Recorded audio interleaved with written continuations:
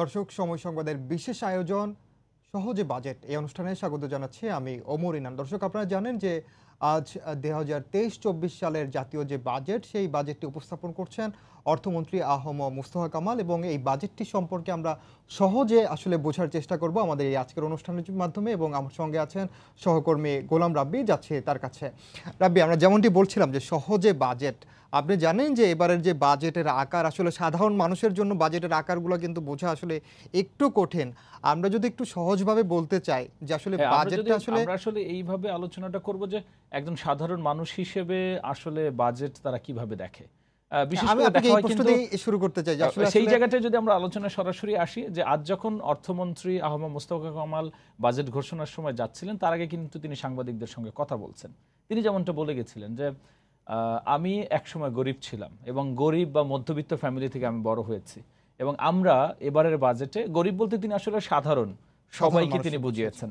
এবং যেহেতু সামনে নির্বাচন সুতরাং সরকারি দল হিসেবেও তাদের একটা বড় প্রত্যাশা যে এবারের বাজেট দিয়ে কতটা জনসাধারণের ভোটকে আকৃষ্ট করা যায়। সুতরাং তারা কিন্তু চেষ্টা করছেন সাধারণের বাজেট দিতে। কিন্তু কিছু কিছু প্রোডাক্টের কথা যদি আমরা বলি, অর্থাৎ পণ্যের কথা যদি বলি, যেমন ধরেন সবাই কিন্তু এখন শিক্ষায় খুব সচেতন। সেক্ষেত্রে কলমের দাম বাড়ানো হলো। সেটি আসলে কতটা সাধারণের হলো সেটি কিন্তু প্রশ্ন থেকে সেই ক্ষেত্রে আবার সরকারের পক্ষ থেকে বেশ কিছু আসলে যুক্তিও দেখানো হয়েছে। যেমন অর্থমন্ত্রী যখন এই প্রস্তাবগুলো যিনি তখন পেশ করছেন যখন তিনি কিন্তু সব কিছুর পেছনে কিন্তু কারণ বলেছেন। আসলে আহ, যেসব দেশীয় পণ্য উৎপাদন কিংবা আপনি যেমনটি বলছিলেন যে যেসবের দাম বাড়ানো হচ্ছে কলমের দাম একই ক্ষেত্রে কিন্তু একই রকম তার মানে কি যে দেশে যে কলমগুলো উৎপাদিত হয় সেই কলমগুলোর দাম কি আসলে এটি এখানে যে ভ্যাটটি এতদিন প্রযোজ্য ছিল না সেটা নতুন করে আরোপ করা হয়েছে। এটি আসলে এই কারণে না যে দেশীয় পণ্য উৎপাদনে যেন কোনো ধরনের মানুষকে ডিমোটিভেট করা হয় এমন কোনো বিষয় আসলে না।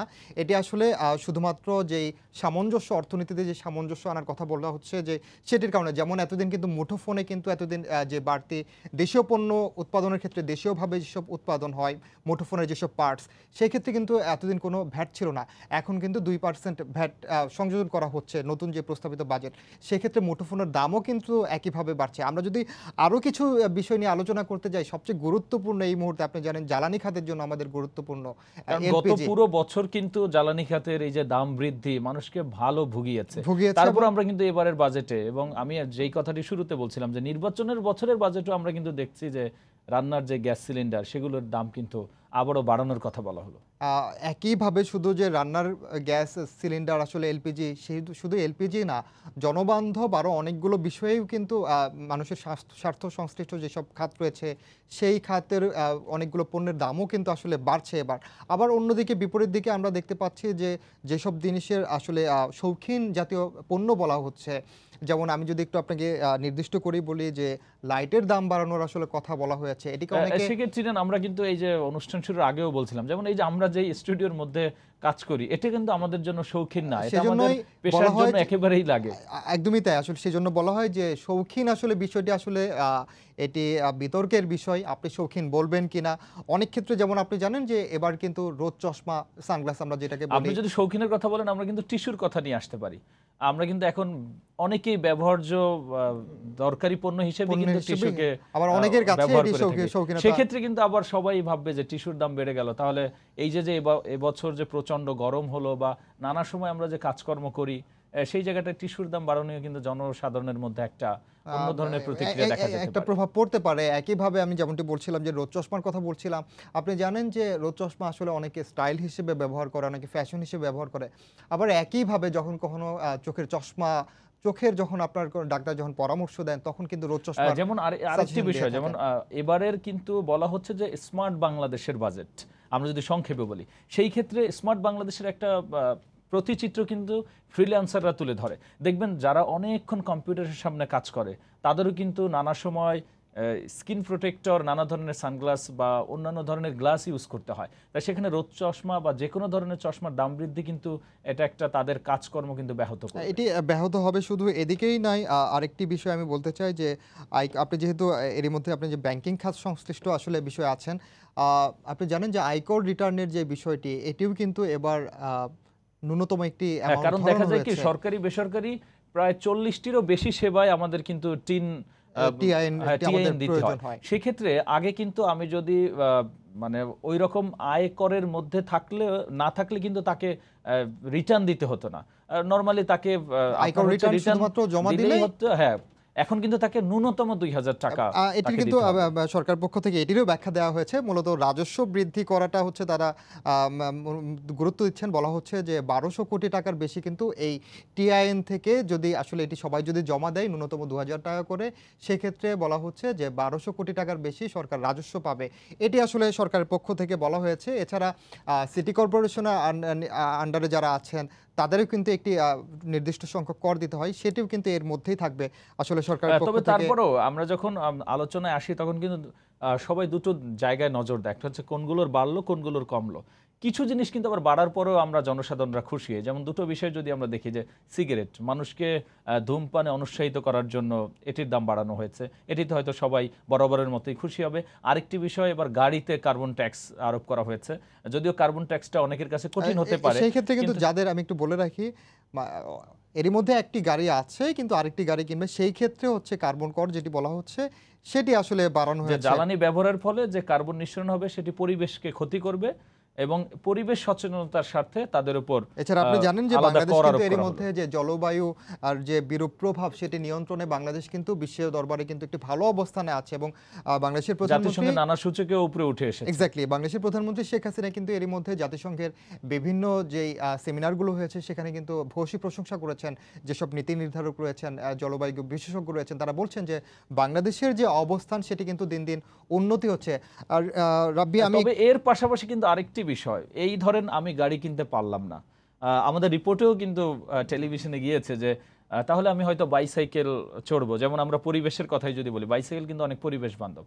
কিন্তু দুঃখজনক হলো সে তো সেটির দামও কিন্তু বাড়ছে। রাব্বি আমি আরেকটু সহজে আরেকটু সহজে মানুষের আহ, দর্শকদের সঙ্গে আসলে কানেক্ট করতে যাই যে সহজে যেহেতু বলছি আমরা বাজেট আসলে আপনি জানেন যে বিদেশ ভ্রমণের খরচও কিন্তু এবার কিন্তু বাড়ানো হয়েছে। অর্থাৎ যোগাযোগ যে কর। ভ্রমণ যে কর সেটিও কিন্তু এবার কিন্তু বাড়ছে এবং সেটি বলা হচ্ছে যে তেত্রিশ থেকে সাতষট্টি শতাংশ পর্যন্ত কিন্তু কর আরোপ হবে। আহ, সেই আমরা আমরা দেখি যে হচ্ছে একটা মানুষ বা উন্নয়নের কথা যখন আমরা বলি আমরা উন্নয়নশীল দেশের পথে যাচ্ছি। সেই জায়গাটায় কিন্তু চিত্ত বিনোদনের একটি বড় জায়গা হচ্ছে ভ্রমণ। সেখানে ঘুরতে গেলে নানা জ্ঞান আহরণ হয়, ঘুরতে গেলে মন ফ্রেশ হয়। সেই জায়গাটায় যদি ভ্রমণ করবারে এটি কিন্তু আসলে আমাদের জীবনযাত্রায় বা উন্নয়নের পথে একটি বাধা হয়ে দাঁড়াতে পারে। সেটি অবশ্যই এবং একই সঙ্গে আরেকটি বিষয় আমি আসলে কথা বলতে চাচ্ছিলাম। এর আগেও আপনার সঙ্গে আমি এর মধ্যে কথা বলেছি যে কার্বন কর নিয়ে আপনি আমরা কথা বলেছি যে এছাড়া কলমের যে বিষয়গুলো বলছেন সেগুলো কথা বলে একই সঙ্গে কিন্তু আবার কিছু জিনিসের দামও কিন্তু কমেছে সেই বিষয়গুলো নিয়ে আসলে আমাদের হ্যাঁ, যেমন আপনার ধরেন আমরা গত বছর পুরোটা জুড়েই কিন্তু আমরা আলোচনা ছিল অর্থ বছরের যে মাংসের দাম কিন্তু একেবারে আকাশচুম্বী। বলা হচ্ছে হ্যাঁ। সাহসী আমি মনে করব এই জায়গাটায় বাজেট যেটি হচ্ছে যে সবার কথা চিন্তা করে এবার মাংসের দাম কমানোর প্রস্তাব রাখা হয়েছে এবারের বাজেটে। শুধুমাত্র মাংস না যেমনটি বলছিলাম যে মিষ্টি জাতীয় পণ্য, সেই আগে যেখানে ছিল পনেরো শতাংশ ভ্যাট ছিল, সেটি এখন অর্ধেক করার আসলে প্রস্তাব করা হয়েছে। তো সেই ক্ষেত্রে কিন্তু মিষ্টির দামও কমবে। এছাড়া আমাদের প্রতিবেদনে আমরা সহকর্মীরা দেখাচ্ছিলেন যে সরকার যে ভর্তুকিতে যক্ষা এবং ম্যালেরিয়া যে চিকিৎসায় সেখানেও কিন্তু ওষুধের যে দাম সেই ওষুধের গত কয়েক বছর ধরেই কিন্তু আমরা ম্যালেরিয়া এবং যক্ষা যক্ষায় আপনার হচ্ছে আসলে সরকার আপনার হচ্ছে নজর স্বাস্থ্য দিয়েছে। খাতে নজর দিয়েছে বলেই আসলে এই বিষয়গুলো কিন্তু এখন কমে এসেছে এবং মানুষ সেই সেবাটা কিন্তু পাচ্ছে এবং যে কারণে স্বাস্থ্য খাতে এবার আমরা দেখতে পাচ্ছি যে আটত্রিশ হাজার বাহান্ন কোটি টাকা আসলে বরাদ্দ রাখা হয়েছে। আর যোগাযোগ যে ব্যবস্থাপনা হ্যাঁ, তবে স্বাস্থ্য খাত নিয়ে কিন্তু আলোচনা আসার দাবি রাখে সেটা হচ্ছে যে আপনি ধরেন স্বাস্থ্য খাতে অনেক বড় বাজেট দিলেন, তার মানে অনেক বরাদ্দ দিলেন। কিন্তু প্রতিবারই বলা হয় কিন্তু স্বাস্থ্যের যে বরাদ্দটি, সেটি কিন্তু সঠিকভাবে আসলে বাস্তবায়িত হয় না। এবং সেই জায়গাটাই কিন্তু আপনার এবার তাহলে নজর দিতে হবে যে স্বাস্থ্যের যে সুযোগগুলো, স্বাস্থ্যের যে বরাদ্দগুলো যেন গ্রাম অঞ্চল পর্যন্ত আপনার হচ্ছে পায় এবং সেই বরাদ্দটা যেন আবার ফেরত না আসে। এবং প্রতিবারই কিন্তু সরকারের পক্ষ থেকে আসলে স্বাস্থ্য খাতে অনেক বেশি বরাদ্দ দেওয়া হয়। আসলেই তাই। আর আরেকটি বিষয় জনসাধারণ অনেকটা আসলে হয়তোবা এর মধ্যে তারা কনফিউজড হয়ে গেছেন যে বলা হচ্ছে যে পদ্মা সেতুর যে বাজেট কিংবা যে, আপনি জানেন যে বাজেটে কিন্তু সরকার বিভিন্ন প্রকল্পে কিন্তু অগ্রাধিকার ভিত্তিতে কিছু বাজেট দিয়ে থাকে। সেখানেও কিন্তু এবারও কিন্তু পদ্মা সেতু যেই বাজেট এটি নিয়ে মানুষের মধ্যে কিছু কৌতূহল কিংবা কিছু বিভ্রান্তি তৈরি হয়েছে। বলা হচ্ছে যে পদ্মা সেতুর বাজেট কি আসলে বাড়লো কিনা। আসলে দর্শকদের জানিয়ে রাখতে চাই যে সরকারের পক্ষ থেকে যেটা বলা হয়েছে, পদ্মা সেতুর যে আগের যে বাজেট ছিল, সেই বাজেটেই কিন্তু পদ্মা সেতু নির্মিত হয়েছে। এখন যে বাকি যে কাজগুলো রয়েছে, অর্থাৎ রেল সংযোগ রেল স্থাপন রেল ট্র্যাক স্থাপনের যে কাজ সেই জিনিসগুলো কিন্তু সরকার পক্ষ থেকে ব্যাখ্যা দেওয়া হয়েছে। এছাড়া রাব্বি আপনাকে তবে যে সেটা অনেকে হয়তো সাধারণের চোখে একটু অন্যরকম মনে হইলেও আপনার হচ্ছে এই যে পরিবহন এবং যোগাযোগ খাতের যে সবচেয়ে বড় বাজেট এটি কিন্তু আসলে দরকার আছে। কারণ দরকার আছে আপনি যখন উন্নয়নের পথে যাবেন পাচ্ছে হ্যাঁ পাচ্ছে এই যে দক্ষিণাঞ্চলের মানুষের যে পদ্মা সেতু সেটা কিন্তু পুরো বাংলাদেশেই কিন্তু প্রভাব ফেলছে। আসলেই তাই পদ্মা সেতু নিয়ে সময় সংবাদ যেভাবে কাভারেজ দিয়েছে এবং এখনও দিচ্ছে মানুষ কিন্তু দেখতে পাচ্ছে যে প্রত্যেকটা মানুষ কিন্তু উচ্ছ্বাসই প্রকাশ করেছে উচ্ছ্বাস প্রকাশ করেছে পদ্মা সেতুর কারণে দক্ষিণাঞ্চলের সঙ্গে রাজধানীর যে যোগাযোগ কিংবা পুরো বাংলাদেশে এখন যে পদ্মা সেতুর কল্যাণে যে যোগাযোগ এবং আর্থিক যে অগ্রগতিটা সেটি কিন্তু একেবারে দৃশ্যমান। এবং আমরা দেখেছি যে এই পদ্মা সেতু হওয়ার এবং মানুষের কত কর্মঘণ্টা নষ্ট হতো। এখন আপনার হচ্ছে দক্ষিণাঞ্চল থেকে ঢাকা বা দক্ষিণাঞ্চল থেকে উত্তরাঞ্চল অথবা ঢাকা দেশের এই প্রান্ত থেকে ও প্রান্তে এই পদ্মা সেতুর কল্যাণে যোগাযোগ। বিশেষ করে আপনার যদি পরিবহনের কথা বলি, আগে শুধু আমরা সমুদ্র বন্দর হিসেবে চট্টগ্রামকে ব্যবহার করতাম। এখন কিন্তু আমরা মোংলা ব্যবহার করে বিদেশি অনেক পণ্য সহজে ঢাকায় নিয়ে আসতে পারছি বা দেশের সব জায়গায় ছড়িয়ে দিতে পারছি। এতে কিন্তু আপনার এই যে চাহিদা যোগান যেটি বলা হয় অর্থনীতিতে, যে পণ্যের যে দ্রুত আপনার হচ্ছে জনগণের কাছে পৌঁছে দেওয়া অর্থাৎ সেটি কিন্তু অনেক বেশি মানে আপনার হচ্ছে দ্রুত হচ্ছে। যাতে কি হচ্ছে? দরকারি পণ্য বলেন, বিদেশি পণ্য বলেন, সব পণ্যের দামে কিন্তু এই যে যানবাহন খরচে অনেক কমছে। আচ্ছা একই সঙ্গে আমাদের মাথা পিছু আয় যেটি ধরা হয়েছে সেটি কিন্তু সাড়ে বারো হাজার ডলার আসলে এবারের আসলে আশা করা হচ্ছে এবং আহ, আহ, আহম মুস্তফা কামাল অর্থমন্ত্রী বলেছেন যে মাথাপিছু আয় হবে কমপক্ষে বারো হাজার পাঁচশো মার্কিন ডলার। অর্থাৎ দারিদ্র সীমার নিচে থাকবে তিন শতাংশের মানুষ। এটি কিন্তু সরকারের একটি অন্যতম লক্ষ্য এবং উদ্দেশ্য যে দারিদ্র যে সীমা সেটি আসলে কমিয়ে আনা এবং দিনে দিনে যে আমরা বলছি যে উন্নয়নশীল দেশ আমরা স্মার্ট বাংলাদেশের পথে এগিয়ে যাচ্ছে সেই হিসেবেই কিন্তু এই জায়গাটা ইনান একটু যোগ করা দরকার। সেটা হচ্ছে বলছে স্মার্ট বাংলাদেশের কথা। স্মার্ট বাংলাদেশে কিন্তু প্রযুক্তি একটা বড় ব্যাপার। সেখানে আমরা আবার দেখছি সফটওয়্যার পণ্যের দাম কিন্তু আপনার বাড়ছে। সেটি আসলে কিন্তু একটু সাংঘর্ষিক হয়ে গেল। অর্থাৎ জনসাধারণ কিন্তু প্রত্যাশা করছিল যে যেহেতু স্মার্ট বাংলাদেশের অভিমুখে যাত্রার কথা বলা হচ্ছে সেখানে কিন্তু প্রযুক্তি পণ্য এবং স্পেশালি আমরা যদি বলি সফটওয়্যার সেই খাতটি কিন্তু আরও বেশি গুরুত্বের দাবি রাখে। সেটি নিশ্চয়ই সরকার বিবেচনায় রাখবে যেহেতু এখন এবং হয়তো আলোচনা সমালোচনা এটি হয়তো পজিটিভ দিকেই যাবে। যেহেতু উত্থাপন হচ্ছে সেই আসলে আহ, এখনও এগুলো নিয়ে আলোচনা হবে সংশোধন হওয়ার সুযোগ রয়েছে। হয়তো বা পরবর্তীতে তা পাশ হবে রাব্বি, আবার আমরা আসব। দর্শক, আমরা আপনাদেরকে একটু একটি প্রতিবেদন যেখানে দেখাতে চাই, যেখানে আসলে এই দু হাজার তেইশ চব্বিশ অর্থ বছরে যেসব পণ্যের দাম কমবে এবং যেসব পণ্যের দাম বাড়তে পারে, এ নিয়ে আমরা এর মধ্যে আলোচনা করেছি। কিন্তু আমাদের সহকর্মী কামরুল হাসান সবুজ একটি প্রতিবেদন করেছে, আমরা সেটি দেখে আসতে চাই। উচ্চ মূল্যের উত্তাপে নিত্যপণ্যের বাজারে যখন পুড়ছে ভোক্তার পকেট, তখন আগামী অর্থ বছরের জন্য প্রস্তাবিত বাজেটে জানানো হলো, এবার রান্না করতেও গুনতে হবে বাড়তি টাকা কারণ ভ্যাট বসানো হচ্ছে এলপিজি সিলিন্ডারে। শখ করে তেহারি বিরিয়ানি কাচ্চি খাবেন? জানেনই তো শখের তোলা আশি টাকা। ভ্যাট বসতে যাচ্ছে বাসমতি চালে। খেজুর কিনতে গেলেও চাপে পড়বেন কারণ দাম বাড়ানোর প্রস্তাব এসেছে উত্থাপিত বাজেটে। দাম বৃদ্ধির খবর শুনে ঘেমে গেলেন। সেই ঘাম মুছতেও বাড়তি টাকা দিতে হবে, কারণ টিস্যুর দামও বাড়ানো হচ্ছে। দাম বাড়ছে স্যানিটারি ন্যাপকিন ও মানিব্যাগের। হয়তো ভাবছেন, এগুলো সব বড়লোকি ব্যাপার স্যাপার। আপনার দরকার প্লাস্টিক আর অ্যালুমিনিয়ামের গৃহস্থালী সামগ্রী ও তৈজসপত্র। এখানেও এবার আড়াই শতাংশ বেশি ভ্যাট দিতে হবে। আগেই যেখানে মেলেনি বাজার হিসাব, এবার তো কলমেরই দাম বাড়ছে। বাড়তি খরচের চাপে চোখে অন্ধকার দেখছেন, সাবধান। চশমার ফ্রেম ও সানগ্লাসের দাম বাড়ছে। টেনশনে সিগারেট ধরাবেন? এবারও বাড়ছে ক্ষতিকর এই তামাকজাত পণ্যের দাম। দাম বৃদ্ধির তালিকায় রয়েছে দেশি মোবাইলও। নতুন সংসার শুরু করতে যাচ্ছেন? শুনে রাখুন, ব্যাগেজ রুলসের আওতায় বিদেশ থেকে আনা স্বর্ণবারের শুল্ক বাড়িয়ে দ্বিগুণ হতে যাচ্ছে আগামী জুলাই থেকে। মানে মূল্যবান এই ধাতুর দাম আরও বাড়ছে। জীবনের উত্থান পতনের কোনো সময় হয়তো গাড়ি কিনেছিলেন, আগামী জুলাই থেকে একটির বেশি গাড়ি থাকলে দিতে হবে বাড়তি কর। তাহলে কি বাইসাইকেল কিনবেন? স্বয়ংক্রিয় পরিবেশ বান্ধব এই বাহনেরও দাম বাড়ছে। আগে করযোগ্য না হলে বিনামূল্যে আয়কর রিটার্ন জমা দিতে পারতেন। এবার থেকে আপনাকেও দিতে হবে দুই হাজার টাকা। না হলে পাবেন না দরকারি চল্লিশটির বেশি সুযোগ সুবিধা। তবে ম্যালেরিয়া আর যক্ষা হলে আপনার পাশে থাকছে সরকার। এসবের চিকিৎসায় দরকারি ওষুধের দাম কমছে। এত কিছুর পর যদি জীবনে কোনো খুশির খবর পান, তাহলে তা সস্তায় ভাগাভাগি করতে পারবেন। মিষ্টির ভ্যাট কমিয়ে আপনাকে সেই সুযোগ দিচ্ছে সরকার। দাম কমবে হাতে তৈরি বিস্কুট ও অপটিক্যাল ফাইবারের। জানি না কতটুকু বেড়েছে আপনার উপার্জনের পথ, তবে করমুক্ত আয়সীমা ঠিকই বাড়িয়েছে সরকার। কামরুল হাসান সবুজ, সময় সংবাদ, ঢাকা।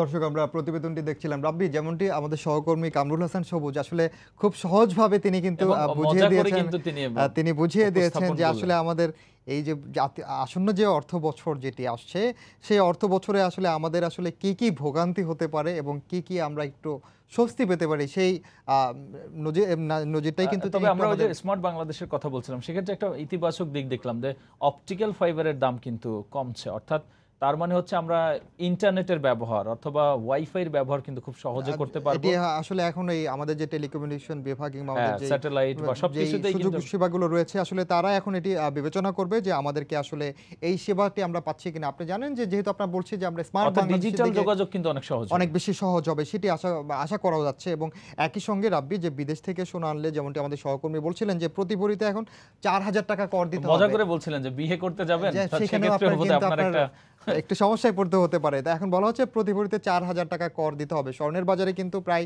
ওঠানামা আমরা দেখি যে এটি আন্তর্জাতিক বাজারের সঙ্গে আসলে সামঞ্জস্য করে এটি মূলত নির্ধারণ করা হয়। এই যে এখন নতুন করে যে আমাদের যে বাজেটটি আসছে, আসলে এটি আসলে কতটুকু জনবান্ধব হবে, এটি আসলে সময়ই হয়তো বলে দিবে। তবে এই জনবান্ধবের কথা যখন বললেন, তখন এই যে কলমের পরপরই অনেক বেশি নিত্য ব্যবহার্য, এই যে প্লাস্টিক পণ্য, অর্থাৎ প্লাস্টিক দ্বারা যে সব জিনিসপত্র বানানো হয়, এটির দাম কিন্তু বাড়ছে। সেক্ষেত্রে মানুষ কিন্তু সবচেয়ে কম দামে, কম খরচে কিন্তু এই পণ্যগুলো কিনতে পারে এবং ব্যবহার করতে পারে। অর্থাৎ তারা কিন্তু বাসার আসবাবপত্র বলেন অথবা নিত্য পর্য পণ্য হিসেবে যে ব্যবহার্য যে জিনিসগুলো, থালা বাসন, তারপর হচ্ছে আপনার এই যে বালতি অথবা বাসন সব কিছুর দামই কিন্তু বাড়ছে। এটি কিন্তু আসলে জনসাধারণের উপর একটা প্রভাব পড়বে। অর্থাৎ আবার বিপরীতভাবে যদি আমি বলি যে শিক্ষা সংশ্লিষ্ট আমি বলতে চাই যে আমদানি করা লিফট ও এসকেলেটরের শুল্ক বৃদ্ধির প্রস্তাব দেওয়া হচ্ছে এটি বাড়বে। আপনি জানেন যে আমরা এর মধ্যে বিভিন্ন সময় এখন যদি কোনো কিছু নিয়ে বিতর্কে সবচেয়ে বেশি হয় সেটা হচ্ছে বিদেশ ভ্রমণ। সরকারি কর্মকর্তা থেকে শুরু করে আহ, বিশ্ববিদ্যালয় কলেজ এসবের আমরা দেখেছি যে শিক্ষকরা বা উপাচার্য বা দায়িত্বপ্রাপ্ত কর্মকর্তারা প্রায় বিদেশ ভ্রমণ করছে দেখা যায় যারা যেই প্রজেক্টে জড়িত না তারাও কিন্তু সেই হাস্যকর এবং সবচেয়ে বেশি যেটি হচ্ছে যে আমদানি করা লিফট আমদানির ক্ষেত্রে কিন্তু এটি সবচেয়ে বেশি হয় হ্যাঁ। এবং এই লিফট আমদানির ক্ষেত্রেও এবং কিন্তু সেই লিফট দেখতে আবার অনেকে যান। অনেকে অনেকে সেখানে যান। আবার এই বিদেশ ভ্রমণ সেটিও কিন্তু একটি বিদেশ হ্যাঁ। ভ্রমণের অংশ। সেখানেও কিন্তু বাড়তি কর আরোপ করা হয়েছে যেটি বলছিলাম তেত্রিশ থেকে সাতষট্টি শতাংশ পর্যন্ত। সেক্ষেত্রেও কিন্তু এই এই যে জাতীয় যে বাজেটটি আসছে সেখানেও কিন্তু একটি প্রভাব ফেলবে। এবং এবার যে শিক্ষার যে বাজেটটি বলা হচ্ছে যে এই বাজেটের যে বরাদ্দ সেটি এগারো দশমিক পাঁচ সাত শতাংশ। সেই ক্ষেত্রে আমরা কিন্তু বারবার বলছি যে শিক্ষার বিষয়ে সরকার কতটুকু নজর দিচ্ছে কলমের দাম বৃদ্ধিটা কিন্তু বাড়ার বিষয়টি কিন্তু অনেকটা উদ্বেগের। মানুষে বলছে যে আসলে এই মুহূর্তে যে কলমের দাম বাড়ানো শিক্ষা তবে শিক্ষার বরাদ্দের চেয়েও কিন্তু সবসময় বিশ্লেষকরা বা হচ্ছে যারা বোদ্ধা মহল তারা কিন্তু বারবার বলেন যে শিক্ষার মান বাড়ানোর দিকে এই যে যে বরাদ্দটা, সেটা কতটা ব্যয় করা যায়? গবেষণার কথা বলা হয় শিক্ষকদের মান বাড়ানোর কথা বলা হয় শিক্ষা ব্যবস্থাপনায় ব্যয় বাড়ানোর কথা বলা হয়, বা ব্যয়ে হয়তো বরাদ্দ বেশি আছে, কিন্তু সেটি সঠিক পথে বা সঠিক জায়গায় ব্যয় হলো কিনা, সেই জায়গায় কিন্তু অনেক অনেক দিন ধরে আলোচনা হচ্ছে। শিক্ষা কিন্তু সরকার বহু বছর ধরেই নজর দিচ্ছেন। কিন্তু সেই বাজেটটা আসলে সঠিকভাবে বাস্তবায়নে কিন্তু আপনার হচ্ছে আমরা গত কয়েক বছর ধরেই দেখতে পাচ্ছি। বিশেষ করে আপনার কৃষির যে ভর্তুকির কথা বলা হয়, সেটি কিন্তু এবারও বাড়ানো হয়েছে। এবং আপনার যদি বলি যে এবার আমরা সর্বশেষ নানা ধরনের সংকট পেরিয়ে যেতে কিন্তু আমরা আইএমএফ থেকে ঋণ নিয়েছি, সেখানে কিন্তু তারা ভর্তুকি কমানোর কথা বলা হলেও সরকার কিন্তু জনবান্ধব বা জনগণকে আরও বেশি সহজে জীবন ধারণের জন্য ভর্তুকি কিন্তু সেই কৃষিতে আবারও বাড়িয়েছে, যেটি আসলেই ইতিবাচক। একই সঙ্গে আপনি যেটি বলছিলেন যে আইএমএফ এর লোনের কথা বলছেন যে চারশো সত্তর কোটি ডলারের বিপরীতে, অর্থাৎ এত বিপুল পরিমাণ যে বাজেট সেটিরও কিন্তু একটি বিষয় চলে আসছে যে আইএমএফ যেসব শর্ত দিয়েছে সেই শর্ত পূরণ করতে গিয়ে কিন্তু বাংলাদেশকে অনেক বিষয়ে আসলে কম্প্রোমাইজ করতে হয়েছে। যেমন গত বছর অনেক জ্বালানির কয়েকবারই অল্প কয়েকদিন পর পর জ্বালানির দাম বাড়ানো হয়েছে। কারণ ভর্তুকি জ্বালানিতে কমানোর কথা বলা ছিল ওই শর্তে। সেই বিষয়টি আসলে বলছিলাম যে যে কারণে আসলে এবার এলপিজির যে জ্বালানি যেটি বলা হচ্ছে এলপিজি গ্যাস এলপিজি গ্যাসের ক্ষেত্রেও কিন্তু এবার ইয়া করা হয়েছে, বাড়ানো হয়েছে এবং সেটি কিন্তু আসলে একটু শঙ্কার যে বাংলাদেশের যে এখন যে শুধু বাংলাদেশ নয় গোটা বিশ্বে আসলে যে আর্থিক অর্থনৈতিক যে দোটা- দোটানা চলছে যে সংকটটি চলছে সেই সংকটের মধ্যে বাংলাদেশের মানুষকে আসলে- একটু স্বস্তির জন্য জ্বালানি বিশেষ করে জ্বালানির কথা যদি বলি যে জ্বালানির সঙ্গে অনেকগুলো বিষয় কিন্তু আসলে ওতপ্রোতভাবে জড়িত এবং যে কারণে এটি আসলে উদ্বেগের যে কারণ জ্বালানির দাম বাড়লে আপনার পরিবহন খরচ বেড়ে যায়। পরিবহন খরচ বাড়লে আপনার নিত্য পণ্য যারা পরিবহন করেন সেই পরিবহনের আহ, প্রভাবটা আবার নিত্য পণ্যের মূল্যের সাথে যোগ হয়। সুতরাং নিত্য পণ্যের দামও বেড়ে যায়।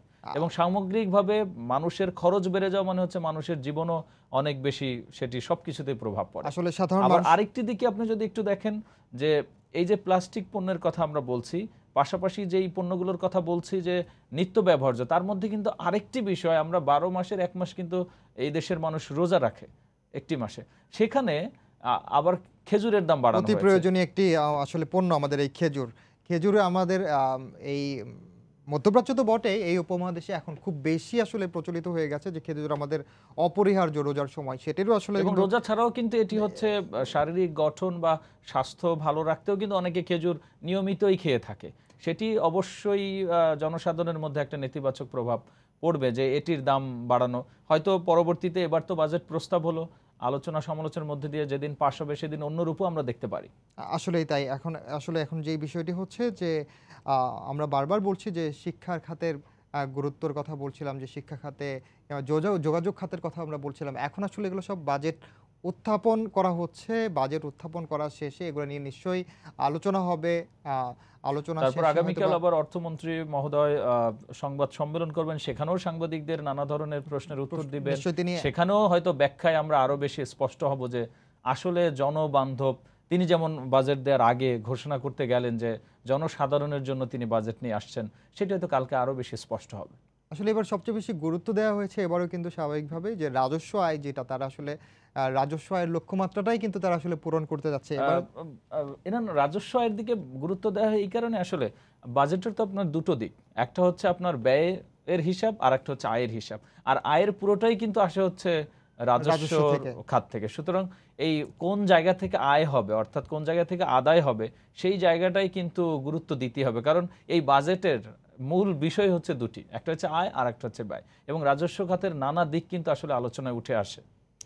সেটি আসলে আমি দর্শকদের আরেকটু ছোট্ট করে আবারও জানিয়ে দিতে চাই যে আজ অর্থমন্ত্রী আহম মুস্তফা কামাল দু হাজার যে জাতীয় অর্থ বাজেট, সেটি উপস্থাপন করছেন এবং পেশ করছেন এবং সেই, আসলে সেখান থেকেই কিন্তু তিনি কোন কোন পণ্যের দাম বাড়ার প্রস্তাব, বাড়ানোর প্রস্তাব দিয়েছেন এবং কমানোর প্রস্তাব দিয়েছেন এবং তার কিন্তু ব্যাখ্যা তিনি সেখানে সংশয়ে দিচ্ছেন। আপনারা জানেন যে এবারও গত বছরের ন্যায় ডিজিটালি এই বাজেটটি উপস্থাপন করা হচ্ছে এবং অর্থমন্ত্রী কিন্তু ফাঁকে ফাঁকে কথা বলছেন এবং যেই সব বিষয়ে দাম বাড়ানো হয়েছে এবং কমানো হয়েছে সেই বিষয়গুলো আলোচনা করছেন। আমরা ছোট করে আরেকবার বলতে চাই যে যেই বিষয়গুলো যেই পণ্যের দাম বাড়ছে, এবার দেখা যাচ্ছে যে কলম রোদ চশমা এই যে পণ্য প্লাস্টিক পণ্য কার্বন কর যেগুলো বলছিলাম, একাধিক গাড়ির মালিক যদি হন, সেক্ষেত্রে আপনার ব্যয় বাড়বে। এই জিনিসগুলো আর অন্যদিকে যেসব পণ্যের দাম কমানো হয়েছে, সেগুলো হচ্ছে মাংস, মিষ্টি, এই জাতীয় পণ্যগুলো আসলে কমানো হয়েছে। রাব্বি আমরা প্রায় অনুষ্ঠানের শেষ পর্যায়ে চলে এসেছি। আমরা তবে এইবার কিন্তু বিশেষ কিছু দিক রয়েছে। যেমন হচ্ছে আপনার দু হাজার তেইশ সালের এই যে অধিবেশন শুরু হলো তেইশতম অধিবেশনে বাজেট পেশ করা হচ্ছে। এটি কিন্তু স্মার্ট বাংলাদেশের প্রথম বাজেট। অর্থাৎ আমরা এর আগে সরকারের অভিঘাত দেখেছি হচ্ছে ডিজিটাল বাংলাদেশ। সেখানে নানা ধরনের পরিবর্তন আমরা দেখেছি। আগে আমরা অনলাইন বলতে কিছুই বুঝতাম না। এখন আমরা ডিজিটালি সব কিছু করতে পারি। স্মার্ট বাংলাদেশের বাজেট হয়তো নিশ্চয়ই আমাদেরকে আরও বেশি স্মার্ট করবে। বৈশ্বিক ভাবে যদি আমরা চিন্তা করি গ্লোবালাইজেশনের যুগে স্মার্ট যে চিন্তা, অর্থাৎ স্মার্ট বাংলাদেশের অভিমুখে যাত্রা, এটি নিশ্চয়ই আমাদেরকে আরও বেশি সেই লক্ষ্যে কিন্তু রাব্বি, আপনাকে জানিয়ে রাখি যে স্মার্ট বাংলাদেশ গঠনের যে চালিকা শক্তি হিসেবে যে তরুণ, তরুণী, যুব সমাজ আমরা যাদেরকে বলি, তাদেরকে কিন্তু আসলে প্রস্তুত করতে সরকার এই বাজেটে একশো কোটি টাকার আসলে বরাদ্দ রেখেছে এবং এটি অর্থমন্ত্রী তিনি প্রস্তাব করেছেন এবং স্মার্ট নাগরিক স্মার্ট সরকার স্মার্ট সোসাইটি ও স্মার্ট ইকোনমি এই চারটি মূলত মূল স্তম্ভের উপর নির্ভর করে এই স্মার্ট বাংলাদেশের স্বপ্ন যেটি বলা হচ্ছে এটি কিন্তু আসলে স্বপ্ন এখন পর্যন্ত স্বপ্ন আছে এটি বাস্তবায়নের জন্য কিন্তু ধীরে ধীরে এই জিনিসগুলো আসলে আগানো হচ্ছে এবং এই এবং বলা হয়ে থাকে আপনি যেমন বলছিলেন যে আসলে তারুণ্য নির্ভর কিন্তু একটি দেশ হচ্ছে বাংলাদেশ। এবং এখন যদি এই তারুণ্য নির্ভর সমাজকে নানাভাবে প্রণোদনা দিয়ে, যেই বাজেটের কথা আপনি বলছিলেন যে তরুণদেরকে আরও এগিয়ে নিতে স্মার্ট বাংলাদেশ এভাবে সহযোগিতা করা হচ্ছে, এই সহযোগিতা কিন্তু বাংলাদেশকে অনেক দূর এগিয়ে নেবে। কারণ হচ্ছে আপনার তরুণ সমৃদ্ধ দেশ কিন্তু বিশ্বে খুব কমই পাওয়া যায়। আমাদের কিন্তু সবচেয়ে বড় শক্তি হচ্ছে এই যে ইয়াং পিপল যে ডিভিডেন্ড বলা হয়, এই এই জায়গাটায়। এবং সেটি কিন্তু আসলে বাজেটে আমরা দেখতে পাচ্ছি। আসলেই তাই এবং একই সঙ্গে যে তরুণ প্রজন্মের পাশাপাশি আপনি জানেন যে আমাদের জনগোষ্ঠীর বিশাল একটি অংশ অবশ্যই বয়স্ক এবং সরকার কিন্তু বয়স্ক ভাতা যে পেনশন, বেসরকারি, শুধুমাত্র সরকারি লোকরাই নয়, বেসরকারি নাগরিক সামাজিক সুরক্ষা নিশ্চিতের জন্য এবং আমরা যেমন বলছিলাম না যে মজা করে যে কোনটা বাড়লে মানুষ খুশি হয়, এই যে সামাজিক সুরক্ষা খাতে কিন্তু অনেক বেশি বাড়ানো হয়েছে। বয়স্ক ভাতা, বিধবা ভাতা, নারীদের নানা ধরনের ভাতা, একই সাথে যারা হচ্ছে প্রতিবন্ধী তাদের নানা ধরনের সেবা এবং সামাজিক সুরক্ষার আওতায় নানা পদও কিন্তু বাড়ানো হয়েছে। আগে যতগুলো খাত ছিল সেই খাতগুলোও কিন্তু বাড়ানো হয়েছে। এটিও আমাদের জনগণের জন্য অনেক বেশি সুবিধা এটি- আসলে জনবান্ধব অবশ্যই যে সাধারণ মানুষের কথা চিন্তা করেই এই বা খাতে কিন্তু বরাদ্দ কিন্তু খাতে বাড়ানো হয়েছে এবং যেমনটি বলছিলাম যে সরকার পক্ষ থেকে এটি এখনও প্রকল্পে রয়েছে যে দু হাজার আঠাশ আঠাশ সালের মধ্যে সাধারণ মানুষ যারা বয়স্ক মানুষ আছেন কিংবা প্রত্যেকজন সাধারণ মানুষ যেন পেনশন একটি ব্যবস্থা করা সেটি আসলে এখনও প্রকল্পের আওতায় আছে সেটি বাস্তবায়ন হবে আমরা আশা করছি আহ, এটি পাইলট প্রজেক্ট এবং তখন সামাজিক সুরক্ষা আরও বেশি সুদৃঢ় হবে। আরও কারণ বেশি একটা মানুষ কিন্তু যখন বয়স্ক হয়ে বৃদ্ধের দিকে বা নর্মাল যারা সরকারি চাকরির বাইরে যে মানুষগুলো তারা সবাই যদি একটি পেনশনের স্কিমের আওতায় আসেন সেটি কিন্তু সবার জীবনকে অনেক বেশি সুদৃঢ় করবে। আর রাব্বি আমি যদি ছোট করে আপনার কাছে এই মুহূর্তে জানতে চাই যে সহজে বাজেট বলছি আমরা এই দু হাজার তেইশ চব্বিশ বাজেট নিয়ে সহজে যদি বলতে চাই যে আসলে আপনার মূল্যায়নটা কি? সহজে বাজেট যদি আমরা বলি যে সরকার বলছে আমরা আরও বেশি সামনে এগিয়ে যাব। জনগণের কল্যাণে কাজ করব এবং হচ্ছে আমরা জনগণের কল্যাণ বলতে কি বুঝি? আমাদের রাস্তাঘাট আরও বেশি উন্নয়ন হবে। আমরা যা, যেই জিনিসগুলো ব্যবহার করি সেগুলো আরও সহজে পাব, কম দামে পাব। সেই জিনিসগুলো কিন্তু আমরা বাজেটে বেশিরভাগ ক্ষেত্রেই দেখতে পাচ্ছি সরকার নজরে রেখেছে। সেই ক্ষেত্রে আমরা বলছি যে, এই যে বাজেট, আমরা যেমন জনগণে আগে হচ্ছে কি করি? আয় করি, তারপর ওইটা দেখে ব্যয় করি। আর সরকার কি করে? সরকার হচ্ছে আগে ব্যয়ের হিসেব করে যে আগামী বছর আমি কোন কোন জায়গায় ব্যয় করব। সেই হিসেবে তারা আয়ের নানা পথ খোঁজে। কখনো রাজস্ব খাত থেকে নেয়, কখনো বিদেশ থেকে ঋণ নেয়, কখনো হচ্ছে দেশীয়ই নানাভাবে তারা হচ্ছে এই রাজস্ব সংগ্রহ করার মধ্যে দিয়ে কিন্তু ব্যয়ের খাতটা তৈরি করে। অর্থাৎ সামগ্রিকভাবে আমি যদি বলি যে অবশ্যই এটি একটা সহজে জনবান্ধব বাজেটই এবং বেশিরভাগ ক্ষেত্রেই সামনের দিনগুলো চিন্তা করি একটা স্মার্ট বাজেট দেওয়া হয়েছে। এবং শেষ প্রশ্ন আপনার কাছে আপনি জানেন যে ভোটের বছর এর মধ্যে চলে আসছে মানে প্রায় ঘনিয়ে আসছে। সেক্ষেত্রে জাতীয় নির্বাচনে এই বাজেট কতটা গুরুত্বপূর্ণ এবং কতটা ভূমিকা রাখবে? অবশ্যই বড় ভূমিকা রাখবে। এর কারণ হচ্ছে যখন সামাজিক নিরাপত্তা খাতকে গুরুত্ব দেওয়া হয়েছে সড়ক যোগাযোগে গুরুত্ব দেওয়া হয়েছে শিক্ষা খাতে গুরুত্ব দেওয়া হয়েছে কৃষি ভর্তুকি নানা চাপের পরও বাড়ানো হয়েছে তার মানে হচ্ছে তারা চিন্তা করেছে যে মানুষ যেন যে কোনোভাবে হোক সরকারের এই ঘোষিত বাজেটে যেন সন্তোষ প্রকাশ করে। কারণ এই সন্তোষটাই কিন্তু তার এই ডিসেম্বরে বা জানুয়ারি যে সামনের যে নির্বাচন, সেটিতে যেন প্রভাব ফেলে। তারপরে আমরা কিন্তু সবসময় বলে থাকি সুইং ভোটার বলে একটা কথা, যে তরুণরা যারা একেবারে প্রথম ভোটার, তারা কিন্তু খুব দ্রুত ট্রান্সফার হয়। যে আপনি যা ইশতেহার ঘোষণা করলেন, আমি যা ইশতেহার ঘোষণা করলাম, তার কাছে যেটা ভালো মনে হবে, সে বিগত ইতিহাস বা মতাদর্শ দেখে অনেক সময় ভোট দেয় না। তাদের কিন্তু আপনি একটু আগে একটা তথ্য দিয়েছিলেন যে বিশাল অঙ্কের একটা তরুণদেরকে এগিয়ে নেওয়ার জন্য বাজেট ঘোষণা করা হয়েছে। তার মানে এই সব জিনিস অবশ্যই ইতিবাচকভাবে ক্ষমতাসীন সরকারকে হেল্প করবে। রাব্বি, আসলেই তাই। এখন আসলে বিষয়টা হচ্ছে যে আমরা তো সরকারের পক্ষ থেকে এখন ঘোষণা দেওয়া হচ্ছে। এরপর নিশ্চয়ই বিরোধী দল এবং সাধারণ মানুষ যারা আছেন তারাও তাদের ভাবনার কথা জানাবেন। আমরা প্রতিক্রিয়া দেখব সাধারণ মানুষের প্রতিক্রিয়া দেখব। একই সাথে আরেকটি বিষয় যে যেই বিষয়গুলো আমরা আলোচনা করলাম সবার কাছেই এগুলো নিশ্চয়ই চোখে লাগবে। নিশ্চয়ই নীতি নির্ধারণ যারা আছে বা বাজেট ঘোষণা করছেন তাদের চোখেও লাগবে। সেটি হয়তো সামনের এই যে ছাব্বিশ জুন যে বাজেটটি পাশ হবে তার আগে আলোচনা সমালোচনার মধ্যে হয়তো সেইগুলোও ঠিক হয়ে যাবে সেটি আমরা প্রত্যাশা আমরা আসলে এখন অপেক্ষা করছি যে সরকার যে বাজেটটি উপস্থাপন করছে সেটি আসলে সাধারণ মানুষ কীভাবে নেয়? অর্থনীতিবিদরা আসলে কীভাবে দেখছেন বিষয়টা? তারা আসলে কি কি সংশোধন আনতে চান? তাদের মন্তব্য জানাবেন। এবং বিরোধী দলের পক্ষ থেকেও নিশ্চয়ই এই বিষয়ে প্রতিক্রিয়া পাবো। রাব্বি আপনাকে অসংখ্য ধন্যবাদ আমাদের সঙ্গে যুক্ত হওয়ার জন্য। ধন্যবাদ। দর্শক আমরা এতক্ষণ আলোচনা করছিলাম জাতীয় যে বাজেট দু হাজার তেইশ চব্বিশ সালের বাজেট যেটি উপস্থাপন করছেন অর্থমন্ত্রী আহম মুস্তফা কামাল সে বিষয়টি নিয়ে আমরা আলোচনা করছিলাম এবং জানাচ্ছিলাম যে আসলে কোন কোন পণ্যের এবার দাম বাড়তে পারে, কোন কোন পণ্যের দাম কমতে পারে এবং এই বাজেটটি আসলে কতটা জনবান্ধব এবং সাধারণ মানুষ হিসেবে আসলে এই বাজেটটিকে কীভাবে দেখতে পারে সেই সম্পর্কে আসলে আমরা একটি ধারণা নেওয়ার চেষ্টা করছিলাম। দর্শক, এই ছিল আমাদের আজকের বিশেষ আয়োজনের সঙ্গে থাকুন সময়ের।